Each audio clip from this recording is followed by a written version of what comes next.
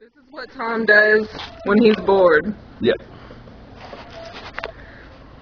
So you just decided to draw on your face, Yep. and that was it. Figured I need anything else to do.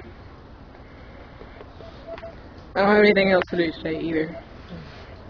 Where you going? Alright. Come back if you have something else on your face too. Alright, did you take a picture?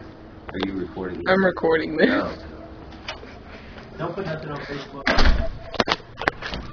It won't be on Facebook. It'll be on YouTube. Oh, that's that's even better.